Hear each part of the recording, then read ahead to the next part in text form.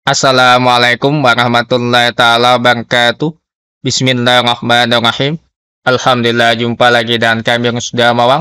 Pada kesempatan kali ini, video yang kami sampaikan tentang tutorial cara membuat titik-titik secara otomatis untuk kolom tanda tangan menggunakan MS Excel.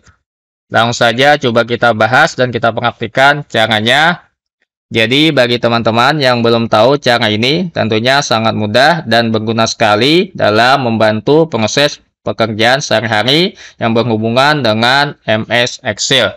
Coba kita buka MS Excel-nya, kita perhatikan. Contohnya seperti ini teman-teman. Ada kolom tanda tangan, titik-titik seperti ini. Untuk masalah format kolom tanda tangan tergantung nanti sesuai kebutuhan. Ada yang format lurus saja atau format zigzag seperti ini. Jelas? Yang jelas kita bahas di sini masalah pembuatan titik-titik terlebih dahulu. Seperti ini. Ini kami hapus terlebih dahulu. Kita hapus teman-teman. Caranya untuk membuat titik-titik bisa menggunakan dua format Format yang pertama seperti ini, lihat rumusnya. Format yang kedua seperti ini. Nanti kita praktikkan langsung kedua format ini, apa bedanya. Coba kita praktikkan format yang pertama terlebih dahulu. Misal ingin membuat di sel mana, di B7 ini, misal di sini. Letakkan saja kursornya. Setelah itu, klik kanan. Pada mouse, pilih format cell, teman-teman. Setelah itu, pilih custom pilih yang general. Setelah pilih custom, pilih general, hapus tipe generalnya ini, dimasukkan sesuai dengan format yang ada. Misal format yang pertama menggunakan it. Setelah itu, beri spasi untuk membuat spasi, teman-teman. Setelah itu, dimasukkan tanda bintang, tadi ketikan tanda bintang, diketikkan lagi tanda titik untuk formatnya klik OK. Sudah terbentuk, tinggal dimasukkan nomornya. Misal nomor 1, tuliskan saja.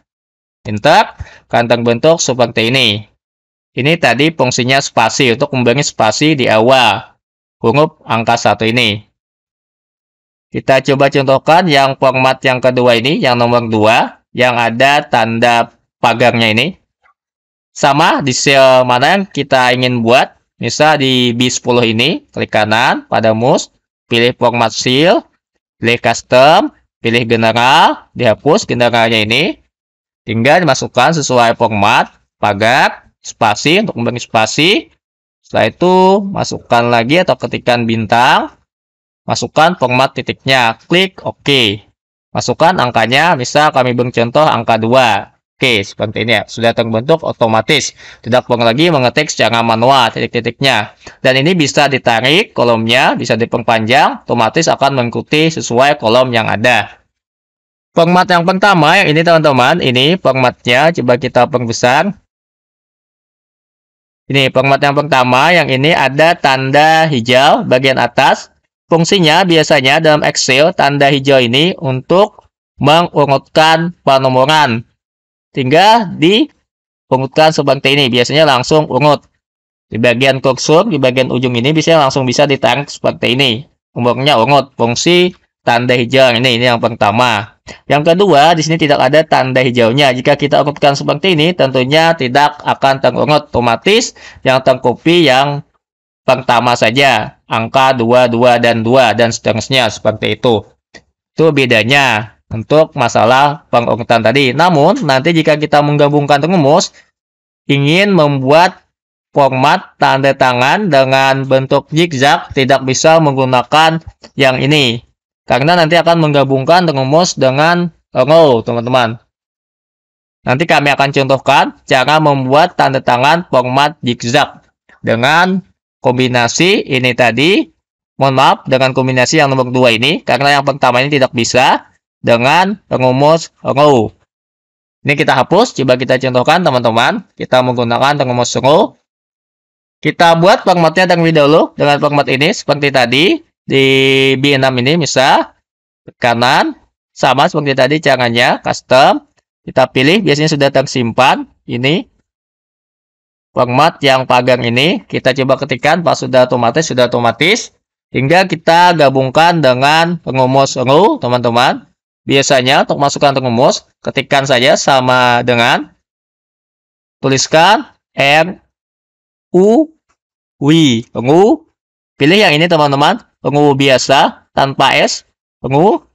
Di sini untuk pengepensi yang sederhana saja. Satu untuk menggunakan tanda titik di sini tergantung nanti laptop atau MS Excel teman-teman bisa nanti menggunakan titik koma seperti ini atau tanda titik seperti ini tergantung nanti bawaan laptopnya atau office-nya teman-teman.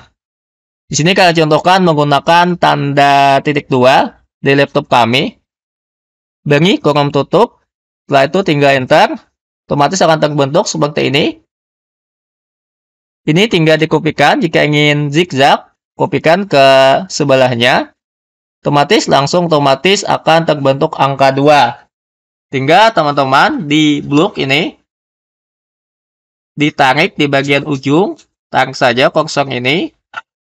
Otomatis akan terisi angka secara otomatis sesuai dengan urutannya sampai ke bagian seal yang mana teman-teman inginkan. Ini otomatis teman-teman tarik saja. Tidak perlu repot mengetik atau menulis secara manual. Untuk format tanda tangan zigzag, jika formatnya bukan zigzag, teman-teman,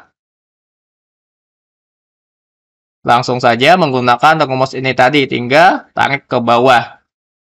Oke, ini saja yang kami sampaikan terkait penggunaan rumus untuk membuat titik-titik secara otomatis. Mohon maaf jika ada kesalahan atau kekurangannya. Semoga ada manfaatnya. Akhir kata, bila taufik. Assalamualaikum warahmatullahi wabarakatuh.